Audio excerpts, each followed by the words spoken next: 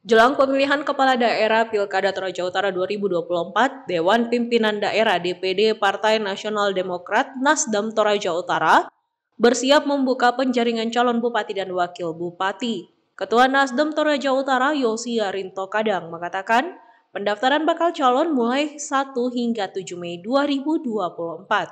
Mantan Wakil Bupati Toraja Utara ini mengatakan bahwa penjaringan calon untuk melihat konsistensi calon.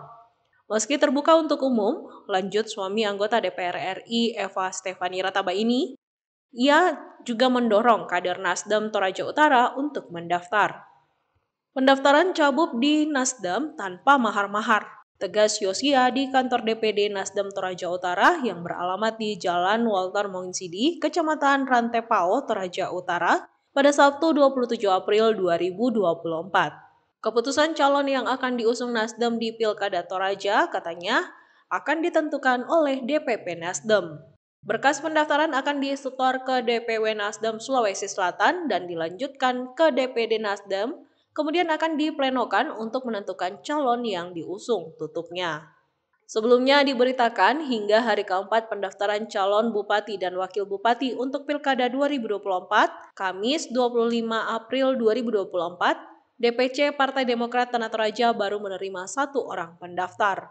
Hal itu dikonfirmasi langsung oleh Ketua DPC Partai Demokrat Tanah Toraja, John Diplomasi.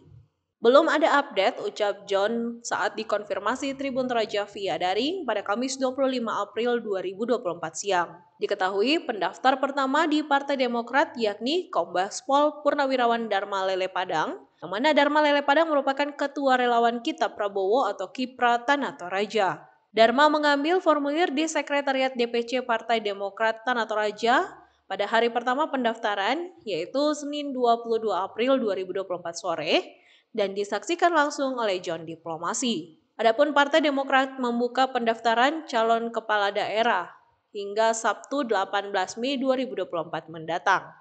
Menurut John, pendaftaran calon bupati dan wakil bupati dibuka sesuai arahan DPD Partai Demokrat Sulawesi Selatan dalam rapat koordinasi daerah atau Rakorda yang digelar di Makassar pada Rabu 17 April lalu. Hasil Rakorda tersebut juga menginstruksikan John untuk mencalonkan diri dalam kontestasi Pilkada Tanah Toraja 2024. Untuk sementara, sesuai dengan arahan, hampir dikatakan bahwa Ketua DPC wajib hukumnya untuk mendaftarkan diri untuk menjadi calon bupati maupun calon wakil bupati, beber John. Kendati demikian, John terpantau belum mendaftarkan dirinya.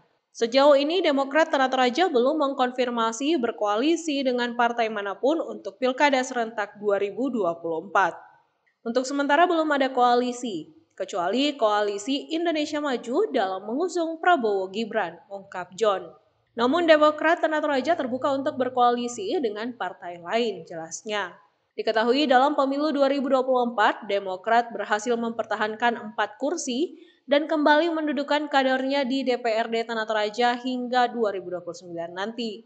Raihan empat kursi ini belum cukup untuk membuat Demokrat Tanah Toraja mengusung secara independen dalam Pilkada 2024, sehingga perlu adanya koalisi. Pencalonan Dharma Lele Padang di Demokrat dan rekomendasi John Diplomasi untuk mencalonkan diri dalam Pilkada Tanah Toraja 2024 menimbulkan pertanyaan.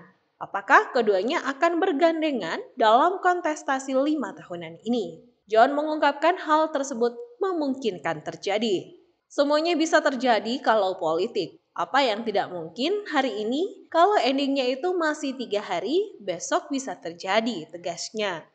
Atas dasar tersebut, John menyerahkan sepenuhnya kepada pimpinan Demokrat dan berjanji untuk patuh terhadap arahan. Karena politik itu kita mau berlogika, tidak juga. Tidak mau baper, tidak juga. Tetapi yang pasti itu, khusus saya pribadi, saya tegak lurus kepada pimpinan saya. Dengan siapa pun, kalau pimpinan mengatakan pasangan dengan ini, saya siap pungkas John. Pantauan Tribun Teraja berbeda dengan John, baliho Dharma Lele Padang telah terpasang di jalan-jalan protokol Makale, ibu kota Tanah Toraja. Download Tribun X sekarang, menghadirkan lokal menjadi Indonesia.